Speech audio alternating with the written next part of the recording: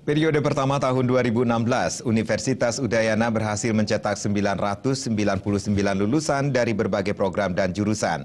Para lulusan tersebut mengikuti acara wisuda ke-116 hari ini di Auditorium Kampus Unut Bukit Jimbaran.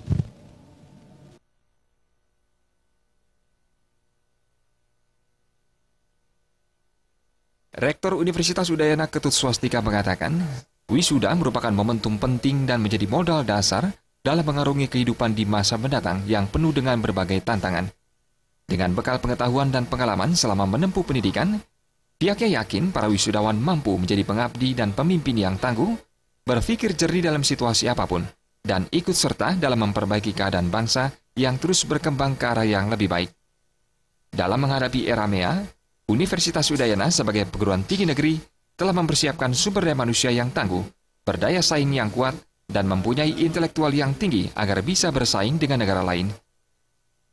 Kita tidak usah terlalu takut lah. Nah, kemampuan terutama kan nih, kita harapkan intelektual yang dari perguruan tinggi, lulusan perguruan tinggi terutama ya, Tadi terutama ini yang punya modal, tapi kan juga yang hebat-hebat kan bukan selalu datang dari lulusan, tapi kan juga bisa dari uh, wirausahawan sendiri, mandiri, itu belajar informal, saya kira ada. Tapi paling tidak bagi yang lulusan ini kan mestinya menjadi apa semacam uh, tulang punggungnya Indonesia ini loh. Nah itu saya kira harapannya. Jadi mudah-mudahan lulusan Udayana salah satu dari Universitas Negeri di Indonesia mampu memberikan sumbangsih eh, SDM lah paling tidak. SDM untuk apa? Untuk mampu bersaing saya kira. Mungkin itu saya kira yang penting sekali. Pada wisuda ke-116 ini, Universitas Udayana melepas 999 lulusan, yakni dua orang diploma 3, 16 orang diploma 4, 676 orang S1, 18 orang profesi apoteker, 23 profesi akuntansi, 30 profesi nurse, 1 orang profesi dokter hewan, 27 profesi dokter, 34 dokter spesialis, 148 magister, dan 24 orang dokter. Dari jumlah tersebut terdapat 23 mahasiswa asing asal Malaysia pada Fakultas Kedokteran.